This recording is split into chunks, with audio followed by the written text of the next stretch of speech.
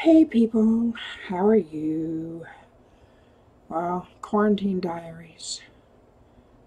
Day, I don't know what day. We've been on, not shelter in place, but uh, restricted, restricted access to many, many things and stay at home for quite a while now. I almost forgot it was Saturday. Does that happen to you? I mean, especially now. Do you lose track of the days? Well, anyway, welcome to my channel. Welcome back. And today I think I'm going to talk a little bit about the psychology of writing, of being a writer, of being me as a writer. Because I can't talk for everybody. I can't speak for everybody. But I'm going to just talk a little bit about my process and how things work for me. And just chat a little bit. So if you haven't subscribed to my channel, please do so now. And hit the ringer bell down there so you get notified when I have a new video out. Pull up a chair, get ready, and we'll have a chat. And just like that, I'm back. Oh, I tell you, the past few weeks have been so surreal. Honestly, I mean, I mentioned it in one of my last videos, but life feels very bizarre. It, it's like when I wrote the Fury Unbound series, I did not expect to be living in what felt like a dystopian world within the next year or two. I always knew you know, things like this can happen. I mean, I went through the HIV epidemic, um, watching it come out of what was originally the gay man's disease and, you know, sweep through the world. And at that time, at that time, AIDS was a death sentence. Now it's not. Um, it was frightening, you know, and especially when we realized anybody can get it. And you can get it in a number of ways.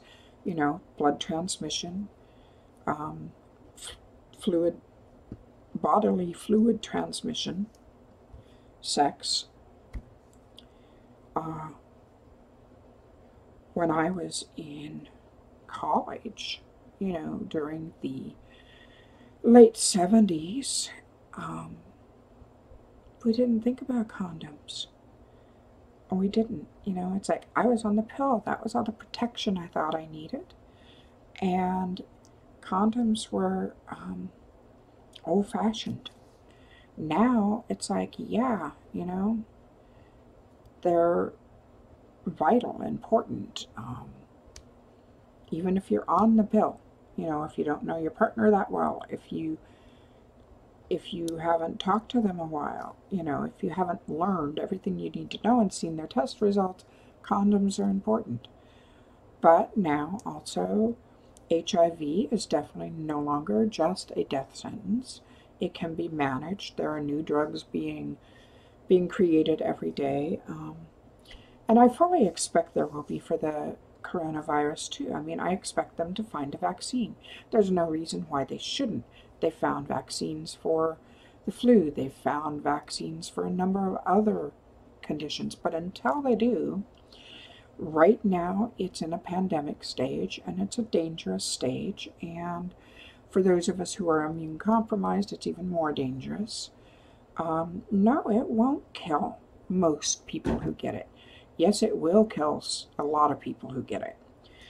When you think of the percentage of people who are actually contracting, contacting, contracting the virus and the percentage of people dying, it's pretty high. And when you look at the vast numbers in the world, it's even bigger. Um, you know, 3%, 4% of a 100 is only 3 or 4, but when you get 3 4% of a 100,000, of a 100 million, of a billion people, you're talking a whole lot of people. So we're being careful here, and we are not under um, shelter in place at this point, but all the bars and restaurants are closed except for takeout. Um, most of the malls are closed. My dentist closed down to all but emergency cases. The hospitals here are swamped. Kaylee wants in. I can hear her. but she was knocking over my webcam and she was once again loving the heck out of my monitor and you know kind of knocking it around and so she gets to stay outside while I film this but yeah our restaurants are closed um, bars are closed any non-essential thing is closed pretty much. No nails no hair. But that's okay because it's important to squash this if we can. Um, I think it's past past controlling, but now we just have to manage it and try and bring the the uh, rate of infection down. So, so life is going to be different for a while for people, and I, you know, it's something we all have to kind of accept and just manage and deal with. Life is different. Life is not going to go back to the same for quite a long time, if ever. Um, things will change, things will shift. And, you know, things do have to adapt. Things evolve, life evolves. We just have to evolve with it. So, for now, Sam and I are here, and I am planning out my garden for this summer because I am going to be getting some raised beds that we're going to put together, and I'm going to be making a large garden for organic vegetables so we have some fresh veg fresh fruits and veggies during the summer and maybe enough that I can actually put some in the freezer. Um, organic food is much safer for me with the MCAS anyway. So, you know, it's like I might as well grow some of my own. Oh, um, moving on from that, I get asked a lot about some of my jewelry on here. This is a moonstone necklace, moonstone with little silver beads. It's a vintage necklace. I got it off Etsy. Um, this is lab created alexandrite because if it were real alexandrite, that ring would be about $30,000. I don't have 30000 to spend on one ring. Um, but it's lab created alexandrite and it's well well made because it does shift. Alexandrite shifts in different light spectrums to different colors. Um, and this does that. And it's really, it's beautiful. It's in rose gold. And this is um, simply citrine, no, not citrine. This is smoky quartz with uh, silver, and it's got white topaz on either side. This is sugilite and amethyst in silver. And this is so various forms of topaz. Swiss blue topaz, London blue topaz, and white blue to or white topaz in silver. And this is mystic topaz in silver, and these are tanzanite and diamonds in white gold. Uh, this I bought from a jewelry store the rest of these, I got this off Etsy, and the rest got off eBay. I love eBay. I, am I frequent eBay far too much. I, I get my antlers from eBay. I've got some really incredible pieces of wood from eBay. I get a lot of crystals from eBay. In fact, I just got this black moonstone from eBay. Um, so yeah, I was going to talk about writer's block too. Now, a lot of people ask me if I get writer's block. I don't. I sometimes get stuck, but that's not writer's block to me. To me, writer's block is when you are so burned out that you literally cannot come up with anything. When you are just creatively toast for me, I sometimes do get stuck on a part in my novel, you know, whichever book I'm writing at the time. But usually it's when A, I've taken too many days off between writing because I do best if I write at least something every day. Um, I keep the continuity much easier. Or B, sometimes I'll get stuck because like right now, I'm having a little hard time. I mean, I will get the book done. It'll be out on April 27th. Sun Broken will be.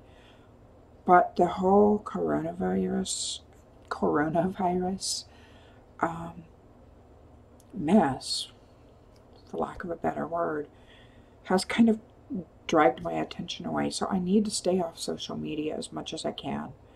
I need to quit dwelling on it. I need to focus on my work. I need to focus on things that make me happy because it will take my anxiety away from there. Now, I don't normally have a lot of anxiety problems. I think I do this time simply because it's an unknown factor. There's not a plan of action yet for this. So I'm, I'm somewhat anxious and nervous because we really don't have a good grasp on how to deal with this yet. They are working, however, on vaccines. And, um, oh, I was very, very thrilled because you, you guys know that I love Project Runway. And I love Christian Siriano, who is the mentor on Project Runway. And he won his season of Project Runway. And he basically offered the mayor of New York, um, he offered um, Cuomo the services of all of his seamstresses and, you know, um, tailors and stuff. Anybody, his shop. And he said they were working from home, but they would stop making his line and start all making the N95 masks that the hospital needs so much. And the New York mayor. He took him up on it. And it was just so nice to see people pitching in like that. And I'm hoping some of the other designers actually join in. But, um, but yeah, I, I will do much better if I try to keep my focus off the virus, the pandemic, every minute of the day, you know, because part of me wants to be out there retweeting things, retweeting information, retweeting um, resources, things like that. But it does get to me after a while. So I need to monitor myself and crack down on myself. Um, and that will help me get back into the swing of writing. I also find that sometimes if I am blocked, it's usually because I've gone off track with the story. And there will be a place where it was flowing really well, and when it stopped, I go back to that place and I look and I usually try to force the story instead of just let it flow out. One of the reasons why I can't give you better advice on this is because the way my mind works, and I, I found this out recently, by taking a really good class called um, Write Better Faster. And it's not, it, Becca Symes runs it, and it's not a class that is intended to help you write faster in terms of, you know, write this way and you'll increase your input, but it's in, intended to help you find your strengths as a writer and rely on them, and that actually helps your process move along faster and more smoothly. And it did help me a whole lot because I I never have been able to plot my books very easily. And I always felt almost like a little bit of a failure because I couldn't plot my books. It's like every time I tried, I'd run into a standstill. But when I just sit down and start to write, the book is there. So finding out that one of my strengths in particular, all of my strengths are geared toward achievement and competition and strategy and stuff, except this one strength, which basically what it means is my subconscious takes over the plotting process and the planning process for that, and it churns it all together, and then it coughs it up when I need it. So when I sit down and I'm ready to start the book, it's there because my subconscious has been doing the work my subconscious has been going, oh, let's put this together and that together and that together. And it's so much explained why I have always been able to foreshadow things without knowing what I'm doing. In fact, there are so many times I've written something and I'm like, what the hell is that for? Why did I write that? It makes no sense to me now. And then two chapters down the line, all of a sudden I was like, oh, it was foreshadowing for this event. I get it now. That's why that happened. So my subconscious does the foreshadowing for me too. So that doesn't make me a very good teacher for you as an aspiring writer in terms of telling you how to plot and write because I don't do that consciously. I do that on a subconscious level, which is good for me, not so good if I wanted to give writing advice. I can give practical advice, you know, some practical advice, but but stuff like that, you know, if you are not a writer like me with that strength, you know, of subconscious processing, then you're better off getting the advice from somebody else because my advice is basically, but I just do it. And that sounds so snarky in a way, but it is true. I just do it because my subconscious is doing it for me. I actually like having that, but it also can kind of feel nerve wracking at times. It's like, well, is next book next book gonna be there? I'll find out when I get there. And yeah, it's there. I finally, after this many books, you know, after over 60 some books and 25 years in the business, I finally trust that, yeah, I am going to have the books there. It, there are going to be stories there. There are so many ideas I have that I can't possibly write them all. In fact, I have three new series on the back burner in the back of my mind that I'd like to write. I just have to find the time for it. And that's in addition to Whisper Hollow, and that's in addition to The Wild Hunt, and that's in addition to, you know, the last of the Fury and the last of the Bewitching Bedlam. And no, I don't know when those are going to be out, but but there are just so many ideas that I can't possibly, I think, write them all in my lifetime, which kind of gives me some pain, actually. Um, the concept that all these ideas I have you know, may go with me, you know, at some point. Well, I guess every writer might have that, you know, or some writers have that, that fear, or that, it's not a fear, it's just that slight sense of dread. So yeah, writer's block for me is simply I've gotten off track. I stopped letting the story flow and I started trying to force it. So you might try that. You know, if you get writer's block, you might try that. You might try going back to the last time it wrote smoothly and take a look and see if you tried to meddle with the process. That might work. Ah, chatting on a few other subjects. Um, as some of you heard in my or in my Facebook readers group, I have started getting the rights back to Otherworld. I will not be putting these books out again until I have all the rights to all the books back and can do what I want with the series. Um, I will not be rewriting the series like I did the Whisper Hollow series. I will not be tightening it up more than running it through an editor again because 21 books, you know, the last three wouldn't need it because those were written after I went indie. But the first 18, yeah, I, I could probably spend a year on redoing those. But I'm not going to. However, once I have all the rights back, I will be putting them out, you know, in ebook and in uh, POD form. Um, I can't get all the rights back until the sales fall on the ones they still have. So I'm encouraging my readers to please, um, you know, if you're recommending my work, recommend my indie work.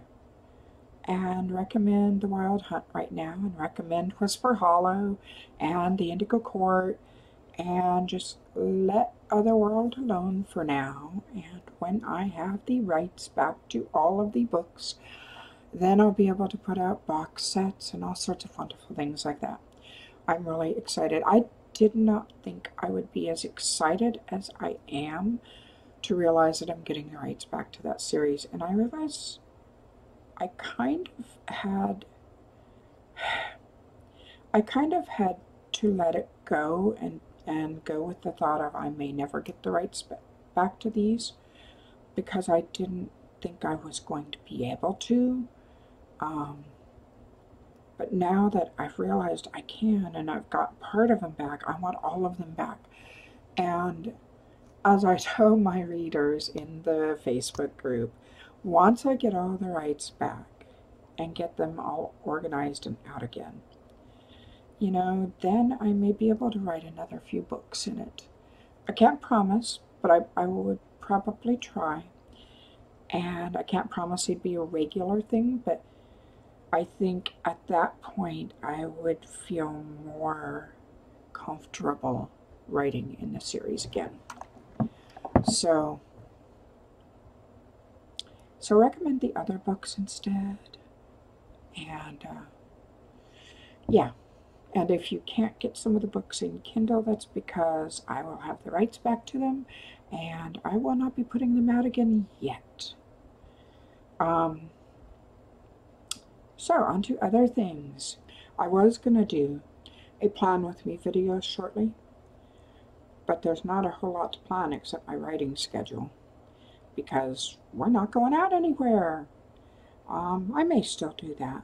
Or I think maybe I will do next time another uh, video on magic and tarot and maybe I'll do another tarot review.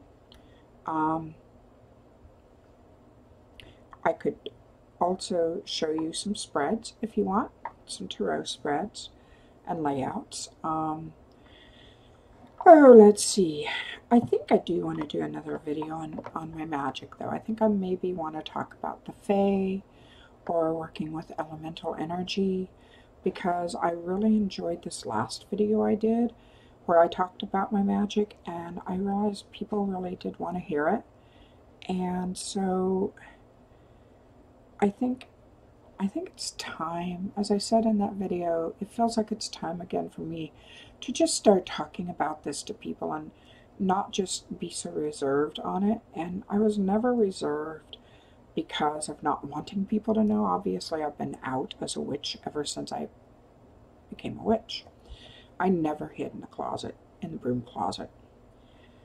But when I started getting way too many requests for help, and I mean, requests like fix my life, not just can you tell me this or that. It was like fix my life, fix my life. When I started getting so many people writing, begging me to fix their lives and fix mistakes they had made, I got exhausted and I had to shut down. I had to shut down that part of myself from the public. Um, but yeah, I think I'll, I'll start doing some videos on magic again. And maybe actually start talking about potential, you know, some rituals you could do, um, ways to use crystals, things like that. If you're interested in that, let me know. I think I'm going to wrap this one up and lead, let it be a little shorter than my usual ones. It's still, I think, going to run around 25 minutes. I don't seem to be able to shut up. Uh, I'm really good at rambling. I just like to talk to people for one thing. I'm not an extrovert, but I do enjoy talking about things to people, about writing and about books and about magic and, and life in general. And so, yeah, I'm going to let you go and we'll talk to you later. And my recap for Top Chef um, season 17, episode 2 will be up next week. And oh, we'll see what else I come up with. I may be doing more videos, especially if we are sheltering in place or anything for a while, because it feels like one good way to communicate. And, you know, it's like, hey, why not? If I've got the time, why not do them? Anyway, I'll talk to you later. Take care. Be safe self distance or um, social use social distancing. Self isolate if you need to, and please, if you if you aren't worried about the virus, be worried for the people who have problems where it could kill them. You know, you're not alone in this. It's not just you. It's all of us together, and it's going to take all of us together to make things better. So, talk to you later. Bye bye. Take care.